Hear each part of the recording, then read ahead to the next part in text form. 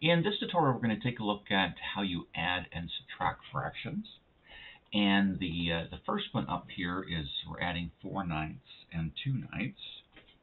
So the, um, and I'm going to talk about why the denominators, the denominators are the bottom numbers in fractions, why they have to be the same, but they are the same in this one, so we'll, we'll talk about that a little bit more in the second part. So 4 ninths and 2 ninths, um, so like if you have 4 of something and 2 of the same kind of thing, then you have 6 of it altogether. So when we add fractions, you add the numerators. So 4 and 2 add 6, and it's their ninths. So the answer would be 6 ninths. Now, sometimes um, uh, fraction answers or rational number answers can be written in a simpler form. And if the numerator and denominator are both divisible by the same number, then you can reduce it. So for example, I can divide 3 into both of these. And so if I divide 6 by 3, I get 2. And if I divide 9, 9 by 3, I get 3. So the simplest form of that answer is 2 thirds. Uh, so 6 ninths is correct. It just can be reduced to 2 thirds. And we normally try to write answers in a simplest reduced form. Now, second one is B. We have 3 quarters plus a half. And so notice in, in this case, the denominator is not the same. And actually, that's the same with every other example I have here. So I want to explain why, or give an example of why the denominators have to be the same in order to be able to add or subtract fractions. So 3 quarters is the uh, first fraction. So what 3 quarters means is that you've got something like a, a pizza, for example, that has four parts and altogether, and 3 quarters means we have three of those four parts. So for example, if I shade in here, okay, like this, okay, we have three of the four parts. Now the half means that I have half of it. So if I divide it into two equal parts, then I have one of those two equal parts. And notice if you think about, again, about this being a pizza, the pieces of the pizza aren't the same. See, these are all quarters, but this is this one down here is a half. And so what we have to do in the second one is if I draw a line here like this, then now it has the same size pieces as this one. They're all quarters. And so now I can say, look, I have one, two, three, four, five quarters. So that's how much pizza I have. Five quarters would be, you know, just one quarter more than a full pizza. Now, what we do algebraically over here is you look at the denominators, 4 and 2, and you try to find the a, a multiple of 4 and 2 that's the same. It's often called the least common multiple. And the reason we use the least is because we want the smallest of those multiples. So what I'm going to do is I'm going to multiply this by 2. And so I'm going to leave the 3 quarters alone. Now sometimes the um, one of the denominators isn't the least common multiple or least common denominator. And so on top, 1 times 2 is 2, and 2 times 2 in the denominator is 4. And so now my uh, denominators are the same. See, 1 half of a pizza is the same as 2 quarters of a pizza. See, I originally had one of two pieces here, and now I, I'm rating it as two of four pieces. And so we can add 3 quarters and 2 quarters to get 5 quarters. Now, one of the common misconceptions about adding fractions is that you add the denominators. And you don't do that. So, like if, you know, it's not 5 eighths, uh, like if you add the 4s together. The 4 represents what size the parts are. See, these are all quarters. So you, you don't add the denominators to get 5 eighths. See, if I write 5 eighths, well, that's not even a full pizza because uh, the 5 is smaller than the 8. That's actually just a little bit over half the pizza. Uh, but see, the, the size of the pieces are quarters, so that's why for adding quarters, it's still quarters. So we can just actually, actually, I will just erase that instead of doing that. Okay, let's go back to my pen. Now, um, sometimes you might want to leave the answer like this. Um, if you're asked to write answers as mixed numbers in simplest form, see, 4 goes into 5 one time, and then there would be 1 left over because 5 take away 4 is 1. So that would be 1 and a quarter if you're asked to write it as a mixed fraction. Okay, so again, 4 goes into 5 one time, and then if you if you subtract 5 minus the single 4, that's where the 1 in the numerator comes from. So it's 1 and a quarter. So if you think of this, uh, see if I take this one here and put it up here, then I've got a full pizza, that's the 1, and then there'd be like the 1 quarter left over. Okay, so for C here, um, in order to add them, most of the time, like there are times when you can add fractions without bothering to change them into, uh, these are called improper fractions, you can leave them, uh, this is called mixed form. Uh, but most of the time, like probably uh, you know 19 times out of 20, it's a good idea to change them into. So these are called improper fractions. What we're going to change these into. So two and three quarters, we want to figure out uh, how many quarters that will be. And then, and then this one here, it's thirds. And then we'll talk about how you get the common denominator. So two and three quarters, in order to get the number that goes up here to put it in improper form, we multiply 2 by 4 and then add 3. So 2 times 4 is 8, plus 3 would be 11. So, so what I'm doing in my calculator to do this is I will go 2 times that 4 denominator and add 3. So see, that's 8 plus 3 is 11, so that's why I have 11 here. So the next one, uh, it's 1 times 3 plus the 2. So we bring the calculator back, uh, 1 times the 3 denominator plus the 2 numerator on top. So this will be 5 thirds here. And let's just move this off here.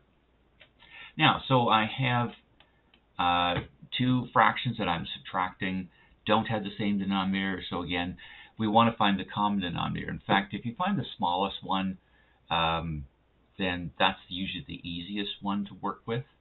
Um, there are larger denominators, but then you have to reduce more in the end.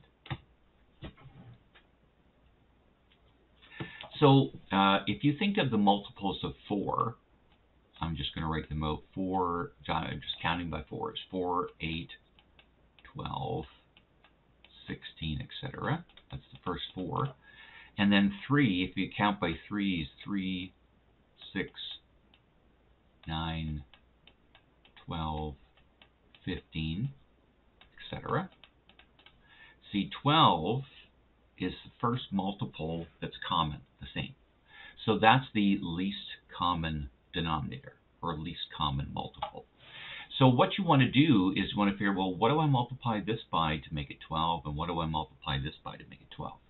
So in the denominator, it's it's and if you forget, then you see you would take that common denominator and divide by 4. So see this one I'm going to multiply by 3. And over here, if you take your common denominator and divide it by 3, then you get 4. So basically, I'm multiplying this one top and bottom by this denominator, and I'm multiplying this one top and bottom by the other denominator. See, sometimes the common denominator is actually the product of these. It's not always the case, but that happens a fair bit of the time. So, so I'm going to multiply this by 3. So 11 times 3 is 33, so we have 33 in the numerator, and 4 times 3 is 12 in the denominator. And then this one we're multiplying by 4 to make the denominator 12. So 5 times 4 is 20. And 3 times, oh, I wrote 12. Uh, I'm thinking 12. 3 times 4. Sorry about that. So 4 is 12 here. And then now since the denominators are the same, we can subtract. So 13 minus 20 would be 13 twelfths. And like the last uh, answer in B, this is an improper fraction because the numerator is a little bit bigger than the denominator. Now 12 goes into 13s just a single time, so it would win once. And then if you subtract 12 from 13, there's one left over, so it would be 1 and 112 as a mixed answer. A lot of times uh, it's acceptable to leave in this form, but if you want it in mixed form, that's what it would look like. Okay, uh, fourth example here, 11 30ths minus 7 6. So uh, 30 and 6 is the two denominators. We want to find the least common multiple of them. And so if I start writing multiples of 6, I'm just counting by 6. 6, 12, 18, 24, 30. Oh, look at that. 30 is a multiple of 6. So I don't really need to write multiples of 30, like 30, 60, 90, uh, because as writing the multiples of the smaller number, I see that the fifth multiple of, of 6 is 30. So actually, see, that actually tells you what to multiply by, because it's 30 is the fifth multiple. So if I multiply this by 5, I'm going to make the denominator 30. That's the same over here. You see, see 12 was the third multiple of 4. That's why I multiplied that one by 3. And 12 was the fourth multiple of 3. That's why I multiplied that by 4. So uh, the 11 30ths we can leave alone. And then uh, 6 times 5 in the denominator is 30. So 7 times 5 is 35. And so now we can subtract them because they have the same denominator. So 11 minus 35, and if you uh, is negative 24. Now, if you're not using a calculator, remember um, remember any uh, subtraction can be written as so what we're actually doing here is taking 11 and subtracting 35. So that's the same as 11 plus, remember you can change any uh, subtraction into an equivalent addition, plus negative 35.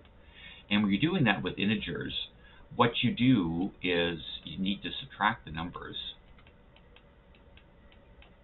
And that subtracts to 24. So that's why the answer has 24 in it. And you see this integer has more negatives than the 11. In fact, it has 24 more. That's why the answer is negative 24. So it would be negative 24 30ths. Now that's not improper because 24 is smaller than 30, so we don't have to worry about changing it to a mixed, but it can reduce like the first one here. So if you look at 24 and 30, think, try to think of a number that uh, they both divide evenly by. And you might say, well, they're even, so 2 goes into them.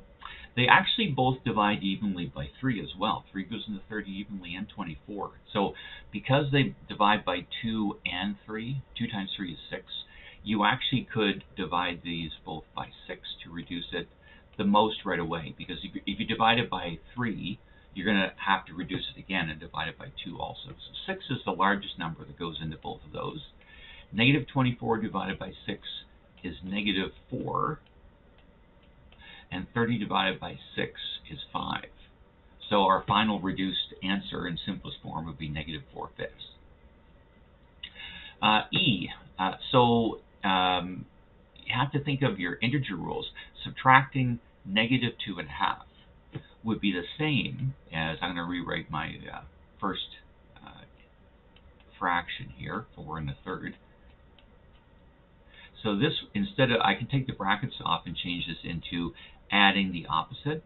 So this is actually just the same as adding 2 and a half. So again, try to simplify as much as you can. So uh, the denominators are different, 3 and 2. So uh, we're going to uh, change them to mixed numbers. So how many thirds is 4 and a third? Well, we do 4 times 3 is 12, plus the 1 in the numerator would be 13, so that's 13 thirds plus 2 and a half, so it's over 2, the denominator is 2. And so 2 times 2 is 4, plus the 1 on top is 5. So there's my uh, two uh, numbers written as uh, improper fractions. So I want to get a common denominator again. 3 and 2 are my uh, denominators. and uh, their their least common multiple. If we go three, six, nine, etc. And then for two, counting by twos, it's two, four, six. Oh, there we go right away. See, there, there's the common, the least common multiple. So that's the least common denominator. So 6 is the second multiple of 2, so we multiply that by 2. So 13 times 2 would be 26 over 6. 3 times 2 is 6 in the denominator.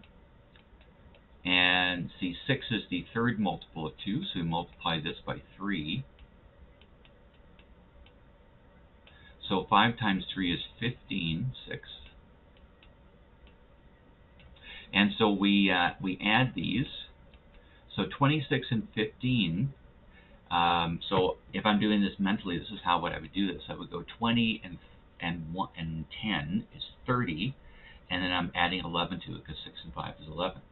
So 30 and 11 more would be 41. So this would be 41 6, and that's certainly improper because 41 is a lot bigger than 6. Now, if I want to uh, see if I want to figure out how I change it to a mixed. See, 41 divided by 6, how many times does 6 go in evenly? Uh, well, it goes in 6 times.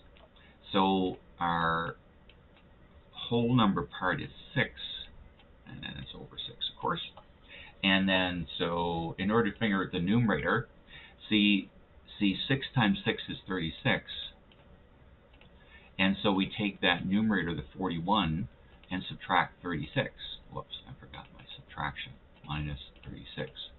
So there's a 5 left in the numerator. So, and of course you can always check these. See, 6 times 6 is 36, plus 5 more makes that 41. So that 6 and 5, 6 is the uh, correct simplified answer. Okay, so last one here, 3 and 7 eighths minus 2 and 5 twelfths. So um, now adding a negative is the same as just subtracting, and I'm going to change my just so that it, you can differentiate between my red up here and my purple down here. So the, uh, so actually let's uh, uh, change into uh, improper first as we go through here. So 3 times 8 is 24, and if you add 7 to that, that's 31. So this would be 31 eighths and again, adding a negative is the same as just subtracting.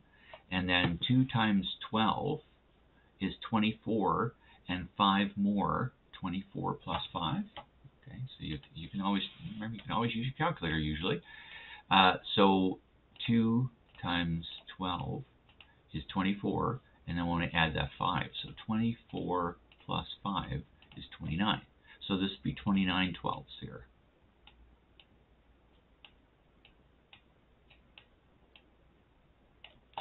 Now, the we want to find the uh, common denominator. So 8 and 12. Now, 8 times 12 is 96. 96 would be a common denominator, but there's a smaller denominator that you can work with. So if you if you list the multiples of 8, 8, 16, and if you add uh, 8 more to that, you get 24 the multiples of 12, so you go 12, and see the second multiple of 12 is 24. There's the common denominator. That's the first common multiple. That's the one we should use. So 8, it's the third. So you see if I multiply this by 3, I'm going to get a 24 in the denominator. So 8 times 3 is 24 down here. So in the numerator, 31 times 3 is 30, oh, sorry, 90 three. Uh, I was I was I almost wrote uh, the wrong number. Uh, 12. They see uh, the the second multiple of 12 is 24, so we would multiply this by two to get our common denominator. So over 24. Uh, 29 times 2 is 58. Okay, and uh, you know you want to check to make sure those are right. See, I did 31 times 3 over here, so that is 93. And then 29 times 2 okay, is the 58.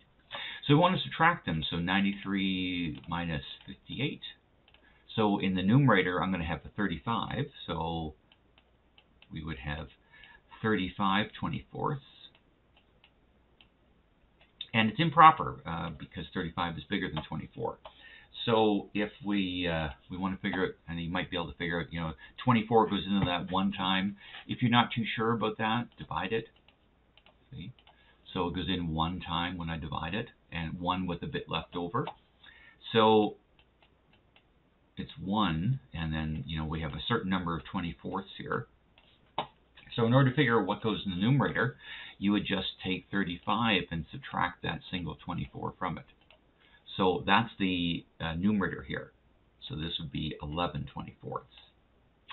So there's some examples of um, adding and subtracting fractions and uh, how you get the common denominator. And then, of course, in B here, I try to explain why you need a common denominator. It's always so you're adding the same size parts or pieces of whatever so I hope that helped uh, you be able to add and subtract fractions successfully. And that's the end of the tutorial.